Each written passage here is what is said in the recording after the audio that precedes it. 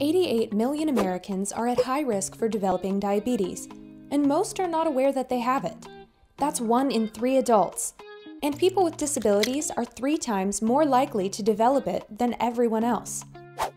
In addition to diabetes increasing the risk for cancers, heart disease, kidney disease, vision loss, and amputations, it also causes 2.3 times higher healthcare costs.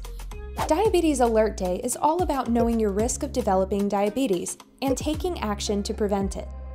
Some risk factors for developing type 2 diabetes can include being over the age of 45, being overweight, having low physical activity, having a family history of diabetes, smoking or tobacco use, high blood pressure, blood glucose, or cholesterol may also increase risks. Prevent and manage diabetes today Take the CDC's free online test to learn more about your risk at cdc.gov slash prediabetes slash take the test. After doing that, you can talk to your doctor about ways you can reduce your risk. Join a local CDC National Diabetes Prevention Program that promotes healthy lifestyles. Are you at risk for developing diabetes? Be aware and take the necessary precautions for your health.